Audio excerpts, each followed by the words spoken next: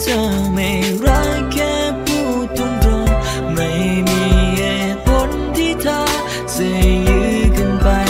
สวัสดีครับมาอยู่กับช่อง The Ra Channel อีกแล้วนะครับผม วันนี้ผมจะมาทำการสปอยละครเรื่องธิดาซาตานใน EP ที่ 3 และ 4 เนื้อหาในคลิปนี้เป็นเพียงแค่การสปอยเท่านั้นนะครับ ถ้าใครไม่ชอบคลิปสปอยสามารถกดข้ามคลิปนี้ไปได้ แต่ถ้าใครอยากฟัง เดี๋ยวเราไปฟังกัน หลังจากที่เชนได้เห็นหน้าของทานไซเขาก็จำเธอได้ว่าทานสายนั่นคือหัวขโมยที่เขาวิ่งไล่จับที่ห้าง ทานสายจึงวิ่งหนีเชนลงจากเวที และเชนก็วิ่งตามไปจับตัวเธอมาจนได้ เชนบอกกับแม่ของเขาว่าทานสายนั้นเป็นหัวขโมยและให้ไล่ทานสายออก แต่น็อตก็ช่วยยืนยัน ว่าเขาไปเช็คที่กล้องวงจรปิดที่ห้างดูแล้ว ไม่มีหลักฐานว่าทานสายนั้นเป็นหัวขโมย แต่เชนก็ใช้สิทธิ์ที่ตัวเองนั้น เป็นลูกของพออไล่ทานสายออก ซึ่งทานสายก็พยายามขอร้องมาลตีแม่ของเชนว่าอย่าไล่เธอออกเลย แต่เชนนั้นก็จับตัวทานสายและลากออกไปนอกห้อง หลังจากนั้นเชนจึงมาถามเอื้องทรายว่าไปรู้จักกับทานสายได้ยังไง เอื้องทรายจึงบอกว่าเธอออกไปซื้อเสื้อผ้าใหม่ด้วยกัน เชน จึงบอกกับเอื้องทรายว่าต่อจากนี้ไปห้ามไม่เธอไปยุ่งเกี่ยวกับทานสายอีกเป็นเด็ดขาด ไม่งั้นเขาจะบอกให้แม่ไล่เอื้องทรายออก เพราะว่าตัวเองนั้นไม่รู้ว่าจะไปอยู่ที่ไหน เธอจึงเชื่อฟังในสิ่งที่เชนสั่ง หลังจากนั้นเพลิงพีทก็ใช้แอคเคาท์ปลอมใน Facebook มาโพสต์ด่าเชน ว่าเชนเป็นนายแบบลูกเจ้าของสถาบัน นิสัยแย่ก้าวร้าว จนเมื่อเชนได้เห็นนั้น เขาก็โกรธมาก และคิดว่าเป็นทานใสที่เป็นคนโพสต์ข้อความนี้ ส่วนทานใสก็มีใครบางคนที่โทรมาให้เธอนั้น มาพบกับพออเขาจะคุยเกี่ยวกับเรื่องที่จะไม่ไล่เธอออก ซึ่งเมื่อเธอมาถึงห้องของพออก็กลับถูกเตอร์รุ่นน้องของเชนมาจับตัวเธอไป ซึ่งคนที่โทรหาเธอนั้นก็เป็นพวกของเชนนั่นเอง เขาหลอกให้ทานใสมาที่ห้อง เพื่อจับตัวทานใสมา พอจะลงโทษทานใสที่เขาคิดว่าทานใสเป็นคนโพสต์ข้อความด่าเขา แต่ทานใสก็ปฏิเสธ ว่าเธอไม่ได้เป็นคนทำซึ่งหญิงก็ไม่เชื่อ และเข้ามาทำร้ายทานใสทานใสก็พยายามดิ้น ซึ่งทุกคนนั้นก็กำลังจะทำพิธี mercy ทานใสแต่มารตีก็เข้ามาขัดขวางเอาไว้ซะก่อน และไล่ทุกคนให้ออกจากห้องนี้ไป มารตี เห็นกระแสในโซเชียล เธอจึงจะรับทานใสกลับเข้ามาเรียนต่อ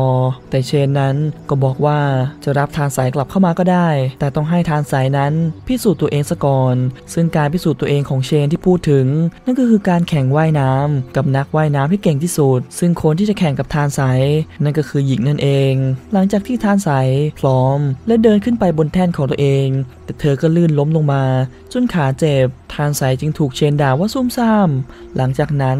เชนจึงไปดูที่แท่นของทานสาย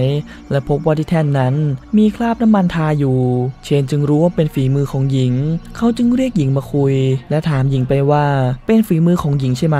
ที่ทำให้ทานสายนั้นต้องบาดเจ็บ หญิงจึงคิดว่า เชนจะชื่นชมเธอ แต่ไม่เลย เชนกลับต่อว่าหญิงว่ามันเป็นวิธีที่สกปรก เชนเกลียดผู้ที่โกงมากซึ่งหญิงก็ขอโทษเชนไป หลังจากนั้นเธอก็กลับมาแข่งกับทานสายถึงทานสายจะเจ็บขา แต่เธอก็ยืนยันที่จะลงแข่งกับหญิง หลังจากที่ทั้งคู่นั้นได้เริ่มการแข่งขัน ทานสายที่เจ็บขา ก็ว่ายไม่ทันหญิง และเธอก็ว่ายต่อไปไม่ไหว เพราะอาการเจ็บขานั้นกำเริบ แต่จู่ๆเมื่อเธอนึกคึดสู้ขึ้นมา ตัวของทานสายเหมือนกับติดเครื่องยนต์ เธอว่ายเร็วแรง จนทำให้น้ำในสระนั้นกระจุยกระจาย และสุดท้าย เธอก็ว่ายจนแซงหญิง และสามารถชนะมาได้ พ่อแม่ของทานใสที่แอบมาดูทานใสแข่ง แต่มีจุดประสงค์แอบแฝง คือการจะเข้ามาขโมยของคนในโรงเรียน พวกเขาได้พบกับมารตี และบอกกับมารตีไปว่า พวกเขาเป็นเศรษฐีจากเมืองนอก มีชื่อว่ามิสเตอร์หวัง กับมิสซิสหวัง และแอบมาดูลูกที่เรียนอยู่ที่นี่ แต่ไม่ได้บอกกับมารตีไปว่าลูกของเธอเป็นใคร เพราะต้องการเก็บไว้เป็นความลับ ซึ่งแม่ของทานใสก็พูดชื่นชมทานใสว่าเธอเก่งมากที่สามารถชนะมาได้ แต่มาราตีก็บอกไปว่าทานสายนั้นเป็นหัวขโมย ที่บ้านคงไม่ได้อบรมสั่งสอนเธอ จนทำให้แม่ของทานสายนั้นโกรธ และบีบไปที่มือของมาราตี แม่ของทานสายใช้จังหวะนั้น ดึงแหวนเพชรที่มือของมาราตีมาไว้กับตัวเอง และแกล้งทำเป็นลมชัก มาราตี จึงบอกให้เอื้องสายนั้น พาแม่ของทานสายไปที่ห้องพยาบาล หลังจากนั้นขณะที่เชนกำลังเครียด เรื่องที่ต้องรับทานสายกลับเข้ามาเรียนส่วนหญิงก็ต่อว่าทานใส หาว่าทานใสนั้นโกงและกำลังจะทำร้ายทานใสเชนจึงเข้ามาห้ามเอาไว้ และบอกว่าการแข่งขันว่ายน้ำมันยังไม่จบลง เพราะว่าทานใสต้องแข่งกับนักว่ายน้ำที่เก่งที่สุด ซึ่งนั้นไม่ใช่หญิง แต่เป็นเขานั่นเองทำให้ทุกคนนั้นมองว่า การที่ทานใสต้องแข่งกับผู้ชาย ก็เป็นอะไรที่เสียเปรียบมาก แต่ทานใสนั้นก็ไม่ย่อท้อ เธอตกลงจะแข่งขันกับเชน หลังจากนั้น ขณะที่หญิงมาซ้อมเต้นกับพวกรุ่นน้อง และมีรุ่นน้องคนหนึ่งเต้นชนเธอจนล้ม เธอจึงไล่รุ่นน้องคนนั้นออกไป เตอร์จึงเข้ามาถามหญิง ว่าหญิงนั้นโกรธ เรื่องที่ทานสายไม่ได้ถูกไล่ออกใช่ไหม และเขาก็อาสาที่จะจัดการกับทานสายให้ ซึ่งขณะนั้นเองเพลิงพิษก็เข้ามาได้ยินแผนการของเตอร์และหญิง ที่กำลังพูดถึงเกี่ยวกับวิธีการที่จะจัดการกับทานใสอยู่ ในเย็นวันนั้นทานใสได้นัดกับวายุตา ที่จะไปทานข้าวที่บ้านของเธอ แต่เตอร์ก็วิ่งมาหาทานสายและบอกว่าท่านผออต้องการพบทานใสจะคุยเกี่ยวกับเรื่องทุน ซึ่งทานใสที่อยากเรียนต่อที่นี่อยู่แล้ว เธอดีใจและเดินตามเตอร์ไป ซึ่งเตอร์พาทานใสมาที่ตึกเก่า และพาเธอมาที่ห้องน้ำด้วยความซื่อของทานใสและอยากได้ทุนเรียนต่อ เธอจึงยอมมากับเตอร์ และถูกเตอร์ผลักเข้าไปในห้องน้ำและล็อกประตูขังเธอไว้ในห้องน้ำเพื่อที่ว่าทานใสจะได้ไปแข่งในวันพรุ่งนี้ไม่สำเร็จ และเธอก็จะถูกไล่ออก เมื่อวายุตามาจุดที่นัดพบกับทานใส เธอก็ไม่พบกับทานใส และวายุตาก็เดินเข้าไปหาเพิงพิษที่เดินผ่านมา เพิงพิษก็บอกว่า เธอไม่เห็นทานใสเลย สงสัยทานใสจะกลับบ้านไปแล้วมั้ง ทั้งๆทที่เธอนั้นรู้ว่าเกิดเรื่องร้ายกับทานไซแต่เธอก็ไม่ยอมบอก ส่วนแบตมือถือของทานไซก็หมดลง ในตอนที่วายุตาโทรมาพอดี และเธอก็ต้องถูกขังในห้องน้ำเก่านี้ โดยหมดหุ่นทางนี้ ขณะนั้นมารตีมาถามหาแหวนเพชรของเธอที่หายไปกับพวกของเชน เชนจึงคิดว่าเป็นฝีมือของเอื้องทรายทำให้หญิงและเตอร์จับตัวเอื้องทราย และค้นไปที่ตัวของเธอ แต่ก็ไม่พบแหวนเพชรนั้น หญิง จึงโยนตัวของเอิงซายไป แต่ได้น็อตที่เข้ามารับทันทำให้ทั้งสองคนนั้นได้สบตากัน และน็อตก็ถามเอิงทรายไปว่าเป็นอะไรหรือเปล่า ความห่วงใยที่น็อตมีให้ทรายทำให้ทรายนั้นเริ่มมีความรู้สึกดีกับน็อตขึ้นมา มารตีจึงบอกกับเอิงทรายไปว่า ครั้งนี้เธอจะยอมเชื่อเอิงทราย แต่ถ้ามีครั้งหน้าอีก เธอจะจับเอิงทรายเข้าคุกอย่างแน่นอน ทานใสที่ถูกขังอยู่เป็นเวลาหลายชั่วโมง เธอก็เริ่มหิวน้ำหิวข้าว แต่น้ำในห้องน้ำนั้นก็ไม่ไหลเลย และจู่ๆเธอก็เห็นภาพป่าที่ปรากฏขึ้นตรงกระจก เธอจึงยื่นมือเข้าไปจนทำให้ตัวของเธอนั้นทะลุมิติจนมาโผล่ที่ป่าแห่งหนึ่ง และเธอได้พบกับฝูงอีกา เธอจึงเดินตามไป และได้เข้ามาที่ถ้ำแห่งหนึ่ง และเธอก็ได้พบกับคัมภีร์ซาตาน ซึ่งเป็นคัมภีร์ที่หายไปตั้งแต่ในตอนต้นเรื่อง ซึ่งขณะนั้นเอง จู่ๆก็มีซาตาน ปรากฏตัวขึ้นบนคัมภีร์ แล้วเรียกทานสายว่าธิดาของข้าซาตานได้บอกกับทานสายไปว่า เธอคือธิดาแห่งสายน้ำซึ่งขณะนั้นเองก็มีหยดน้ำมากมายลอยขึ้นในอากาศ ทำให้ทานสายนั้นรู้สึกประหลาดใจกับสิ่งที่เกิดขึ้น ซาตานเรียกให้ทานสายไปแตะต้องที่คัมภีร์ เพื่อที่ทานสายจะได้รับพลังซาตานไป หลังจากนั้นน้ำในห้องน้ำก็ไหลออกมาจนเริ่มท่วมห้องน้ำซึ่งทานสายก็สลบอยู่ เมื่อเธอตื่นขึ้นมา เธอพยายามปิดก๊อกน้ำแต่ก็ไม่สำเร็จเช้าวันต่อมา ขณะที่ทุกคนกำลังมารอชมการแข่งขันระหว่างเชนกับทานใส แต่ทานใสนั้นก็หายตัวไป พ่อกับแม่ของทานใสที่มาดูการแข่งขัน ก็รู้สึกว่ามันมีอะไรแปลกๆ พอทานใสไม่ได้กลับบ้านตั้งแต่เมื่อคืน เขาจึงออกตามหาทานใส ซึ่งขณะนั้นทานใสก็กำลังแย่แล้ว เพราะว่าไฟในห้องน้ำมันเกิดล่วงลงมา และสายไฟก็กำลังจะลงมาช็อตในน้ำที่ทานใสได้ยืนอยู่เธอจึงปีนขึ้นมาบนอ่างล้างหน้า เพราะกลัวว่าไฟจะช็อตเธอ เพลิงพิษที่ไม่อยากให้หญิงชนะ เธอจึงตัดสินใจกลับมาช่วยทานสาย และจัดการกับคนที่เฝ้าประตูอยู่ และเธอก็ขโมยกุญแจมา และยกทุกอย่างที่ขวางหน้าประตูออก และนำกุญแจมาไขซึ่งขณะนั้นพ่อแม่ของทานสายก็ตามมา เพลิงพิษที่กลัวว่าคนอื่นจะเห็น เธอจึงวิ่งหนีไป และพ่อแม่ของทานสายก็มาเปิดประตู และช่วยทานสายออกมาจนได้ทำให้ทานสายรอดจากการถูกไฟช็อต หลังจากนั้นทานสายก็กลับมาที่สระว่ายน้ำและเข้าไปต่อว่าเชน ว่าเชนอยากชนะมากถึงกับเล่นวิธีสกปรกจับเธอไปขังไว้ในห้องน้ำซึ่งเชนก็ไม่ได้ปฏิเสธแต่อย่างใด เพราะว่าเขารู้ว่าทั้งหมดเป็นแผนการของหญิง หลังจากนั้นททานสายและเชนก็ได้มาแข่งว่ายน้ำกัน ซึ่งเชนนั้นก็มีความสามารถด้านการว่ายน้ำอยู่แล้ว เขาจึงว่ายน้ำทานสายไปได้ไกล จนทุกคนคิดว่าถ้าทานสายจะชนะได้ คงต้องเป็นปฏิหารเท่านั้น ซึ่งขณะที่ทานสายกำลังว่ายน้ำอยู่ เธอนึกย้อนไปในตอนที่ เธอไปแตะที่คัมภีร์ซาตาน และเธอได้รับพลังซาตานมา จนทานใสสามารถควบคุมหยดน้ำและสามารถควบคุมสายน้ำได้ จนทำให้ทานใสนั้น ระเบิดพลังน้ำออกมา จนน้ำในสระว่ายน้ำนั้น สะเทือนและแตกกระจาย ท่านใสว่ายน้ำราวกับพายุ และพุ่งตรงไปอย่างรวดเร็ว ซึ่งพลังสายน้ำของทานใสก็มาดึงขาของเชนไว้ ไม่ให้เขาว่ายไปต่อ จนทานสายสามารถชนะเชนได้ แต่เชนที่ถูกพลังน้ำของทานสายดึงขาเอาไว้ เขาจึงจมน้ำไปทานสายจึงตัดสินใจดำน้ำลงมาเพื่อช่วยเชนขึ้นไป แต่ปรากฏว่า เชนนั้นหัวใจได้หยุดเต้นไปแล้ว มารตี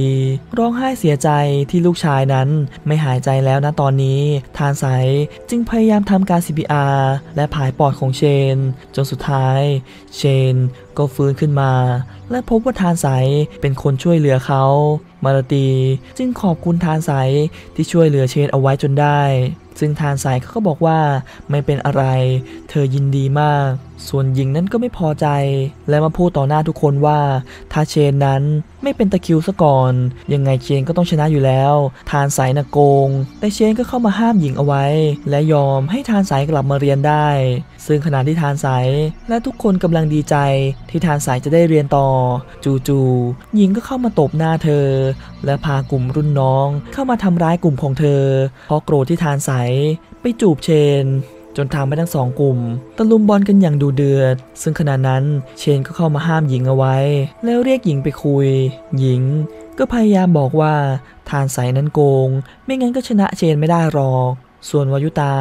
ก็มาถามทานสายว่าทานสายทำได้ยังไง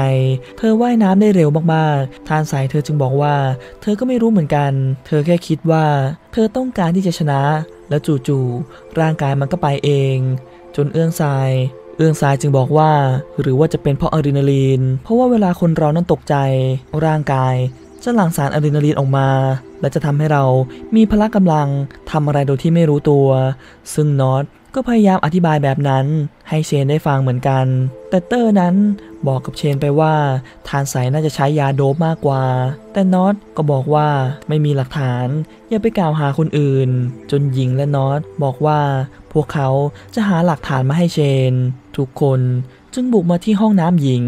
และต้องการมาค้นล็อกเกอร์ของทานสายวายุตาจึงเข้ามาขวาง และบอกว่านี่มันคือสิทธิส่วนบุคคลเลยนะ ซึ่งทานสายเธอคิดว่าเธอบริสุทธิ์ใจ จึงยอมให้พวกเขาค้น ซึ่งน็อต ก็อาสาเป็นคนค้นเอง แต่น็อตก็ไม่ได้เจอยาโดบแต่สิ่งที่เขาได้เจอนั้น ก็คือกระเป๋าหลาย ๆ ใบ จากคนที่ถูกขโมยมา เชนจึงต่อว่าทานใสไปว่า เธอเป็นหัวขโมย แต่ทานใสก็ปฏิเสธ ว่าเธอไม่ได้เป็นคนทำและไม่รู้ว่ากระเป๋าพวกนั้นมันมาอยู่ในล็อกเกอร์ของเธอได้ยังไง ส่วนเพื่อนๆของทานใสก็ไม่มีใครเชื่อเธอเลย พอหลักฐานที่พวกเธอก็ได้เห็นกับตาเหมือนกัน หลังจากนั้น เชนจึงสั่งให้เตอร์และนอต จับตัวทานใสเพื่อจะไปส่งให้ตำรวจ พ่อแม่ของทานใสที่บังเอิญเข้ามาเห็นเหตุการณ์พอดี จึงพูดคุยเกี่ยวกับเรื่องที่พวกเขาไปขโมยกระเป๋าตังค์คนอื่น และไปยัดไว้ในล็อกเกอร์ของทานใสจนทำให้พ่อแม่ของทานใสวิ่งเข้ามาขัดขวางเอาไว้ และบอกว่าพวกเขาถูกโจรขโมยของไป ซึ่งโจรก็วิ่งไปทางด้านหลังน็อตแลเตอร์ จึงวิ่งตามโจรไป ส่วนเชนและมารตี จึงเข้ามาคุยกับพ่อแม่ของทานใสและขอร้องให้พวกเขามาช่วยชี้ตัวคนร้าย ซึ่งพวกเขาก็ยินดี เพราะคิดว่าไม่มีทางจับคนร้ายได้อย่างแน่นอน ส่วนเตอร์และน็อตก็วิ่งไปตามทางที่พ่อแม่ของทานใสนั้นบอก แต่ก็ไม่เจอคนร้ายเลย น็อตจึงบอกว่าไม่เป็นไร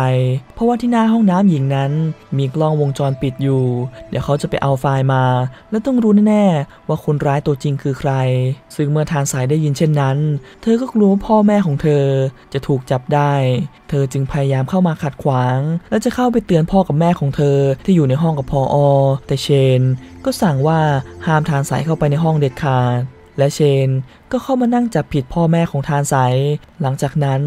น็อตก็นำไฟล์กล้องวงจรปิดมาเปิดให้ทุกคนได้ดู ทานสายจึงบุกเข้าไปในห้องด้วย และเธอก็แกล้งพูดเสียงดังให้พ่อแม่ของเธอได้ยินว่า เธอ ต้องการจะเข้ามาดูกล้องวงจรปิดด้วยทำให้พ่อแม่ของทานสายนั้นตกใจ และพยายามจะขอตัวกลับ แต่เชนก็ไม่ให้กลับ จนกว่าจะได้ดูภาพในกล้องวงจรปิด ซึ่งภาพในกล้องวงจรปิดนั้น ก็เห็นว่ามีคนกำลังเดินเข้ามาที่ห้องล็อกเกอร์ ซึ่งทานสายเธอก็หลับตา และใช้พลังของเธอนั้นทำให้ไฟล์นั้นหายไป ซึ่งเพิงพีทก็สังเกตพฤติกรรมของทานใสอยู่ หลังจากนั้น วายุตาก็นึกออกว่ามิสเตอร์หวังกับมิสซิสหวังนั้นก็คือพ่อแม่ของทานใสนั่นเอง ซึ่งทั้งทานใสและพ่อแม่ของเธอก็ตกใจมากที่จู่ๆความลับของพวกเธอนั้นกำลังจะแตก หลังจากนั้นพ่อแม่ของทานสายทานสายเชน และมาราตีก็มานั่งคุยกัน พ่อแม่ของทานสายบอกกับมาราตีและเชนไปว่า เป็นเพราะว่าพวกเขาเคยลำบากมาก่อน จึงอยากให้ทานสายมาใช้ชีวิตแบบลำบากยากจน บางครั้ง พวกเขาก็ปลอมตัวเป็นคนจนบ้าง เพื่อให้รู้คุณค่าของชีวิต แต่สถาบันมารตีนั้น กลับดูถูกคนจน ไม่ต้อนรับคนอย่างพวกเธอ ซึ่งมารตีก็พยายามปฏิเสธว่าไม่ใช่แบบนั้น แม่ของทานใสจึงบอกว่าแต่เชนดูถูกทานใสที่ทานใสจน และบอกให้เชนนั้นขอโทษลูกสาวของเธอ ซึ่งมารตี ก็ขอร้องให้เชนนั้นขอโทษทานใส เชนจึงยอมขอโทษทานใส แต่เขาก็ยังสงสัยว่าที่แท้จริงแล้ว มิสเตอร์หวังกับมิสซิสหวังนี้ มีตัวตนจริงหรือไม่ หรือเป็นเพียงการสร้างตัวตนขึ้นมา เพื่อหลอกลวงตบตาคนอื่นเท่านั้น แล้วเรื่องราวธิดาซาตานใน EP ที่ 3 และ 4 ก็จบลง เนื้อหาในคลิปนี้เป็นเพียงแค่การสปอยเท่านั้นนะครับ ถ้าผิดพลาดประการใด ก็ต้องขออภัยไว้ณที่นี้ด้วยละกันนะครับ ฝากกดไลค์ กด subscribe กดแชร์กันด้วย อย่าลืมกดกระดิ่งเพื่อไม่ให้พลาดคลิปต่อๆไป แล้วเจอกันใหม่ในคลิปหน้าสำหรับวันนี้ไปแล้วครับ ฝากกดติดตาม กดไลค์ กดแชร์ กด Subscribe